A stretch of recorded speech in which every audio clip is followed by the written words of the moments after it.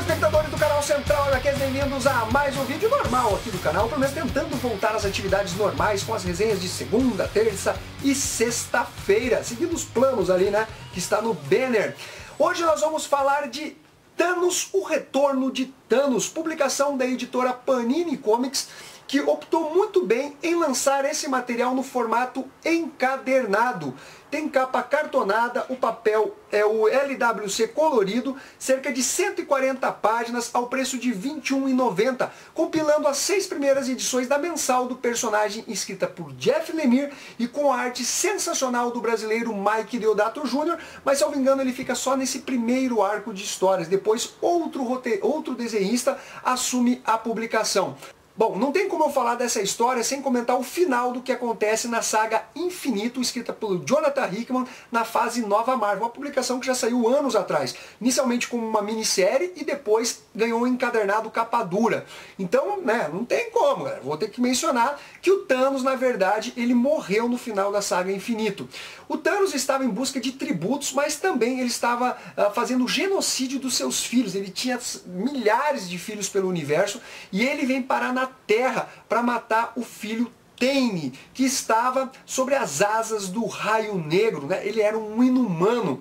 Então, uh, durante os combates que vão rolar, o Tane acaba aprisionando e matando o seu pai uh, dentro de um ambar. O Tane, o Tane é muito poderoso, só que aqui no início dessa publicação, o Tane ele está sem poderes e nós temos realmente o retorno do Thanos, na sua versão talvez mais próxima do Jim Starlin, eu diria meio pré-desafio infinito. É um Thanos que ele tem os seus objetivos bem claros, ele se mostra arrogante, né? ele é muito poderoso, ele gosta até mesmo de, de se testar.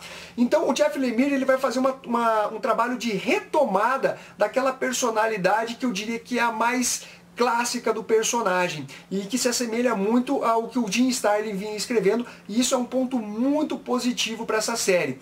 O Tane que está sem poderes, ele quer dar um fim definitivo ao seu pai. Só que para isso ele precisa de ajuda, como eu disse, ele está sem poderes. Não é exatamente explicado o que aconteceu, eu acredito que em edições futuras a gente terá essa revelação. Então ele vai em busca de personagens uh, que possam auxiliar ele nessa empreitada. Tem a participação aqui de uh, personagens que fizeram parte da mitologia do Thanos, como o Eros, que é o irmão dele, o Star Fox, temos o Mentor, né, que é o pai do Thanos, o soberano ali da lua de Titã, Logo no início da publicação nós temos o Thanos retornando para a fortaleza da Ordem Negra. Só que ele vai se deparar com um dos seus generais, achando que agora assumiu o papel do Thanos, assumiu o lugar dele. Só que as coisas não são bem assim, ainda mais quando ele tem que ficar cara a cara com o Titã Louco.